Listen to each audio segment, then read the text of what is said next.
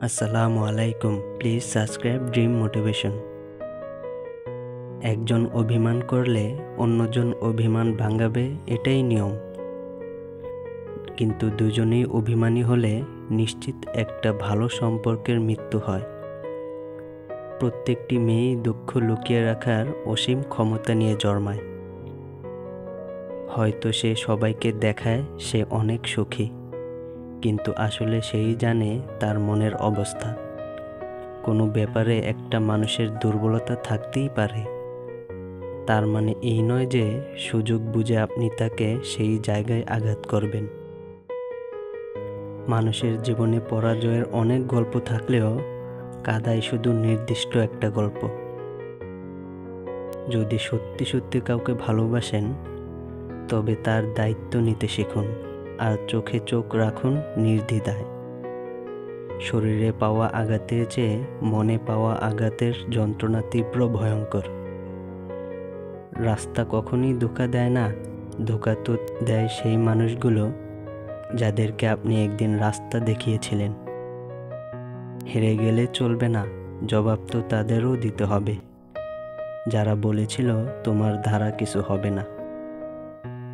রাগ এবং ঝড় দুটোই একরকম। থেমে যাবার পর বোঝা যায় আপনার কতটা ক্ষতি হয়েছে। যদি অল্পতেই আপনার মন খারাপ হয়ে যায়, তাহলে বুঝে নেবেন পৃথিবীটা সম্ভবত আপনার জন্য অনেক কঠিন।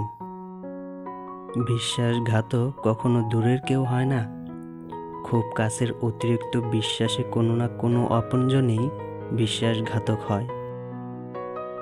একটা সম্পর্ক পূর্ণতা পেতে গেলে সম্পর্কে কি থাকা উচিত জানেন? একে অপরের প্রতি বিশ্বাস, সম্মান আর বোঝাপড়া। কাউকে ছাড়া কেউ অচল নয়, শুধু মানিয়ে নিতে একটু সময় লাগে। জবাব তো প্রতিটা কথারই দিতে পারা যায়। কিন্তু যে সম্পর্কের গুরুত্বই বুঝে না, সে আবার শব্দের গুরুত্ব কি বুঝবে? যখন মানুষের মন খারাপ থাকে, তখন ঘুমও আসতে চায় না।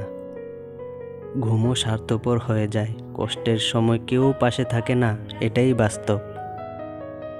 দুনিয়া একটা জিনিস শিখিয়ে দিয়েছে, ভালোবাসা হোক বা বন্ধুত্ব, কোনোটাতেই আশা রাখতে নেই। মেয়ের জাতটাই হচ্ছে মায়াবতীর জাত, তারা তাদের মায়ায় সবাইকে আচ্ছন্ন করে রাখে। তোমার একটু অভিমানের জন্য যদি কারও চোখে জল আসে, তবে মনে রেখো তার চেয়ে বেশি কেউ তোমাকে ভালোবাসে না। বৃষ্টির পরই আবার সূর্য উদিত হয়। আমাদের জীবনটাও ঠিক এরকমই। খারাপ সময় পেরিয়ে ভালো সময়ও সবার জীবনে হাজির হয়। যে যতই তোমার কষ্ট দিক, তোমায় ভাঙ্গার চেষ্টা করুক, তোমায় ভাঙতে পারবে না।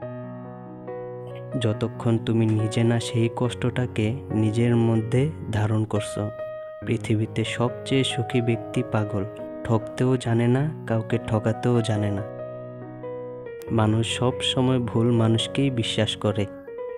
ফর্সা মেয়ে তো রূপবতী, কিন্তু কালো মেয়ে হয় মায়াবতী। বোকা মানুষগুলো কখনো ভালো প্রেমিক হতে পারে না, কিন্তু তারা ভালো স্বামী হতে পারে।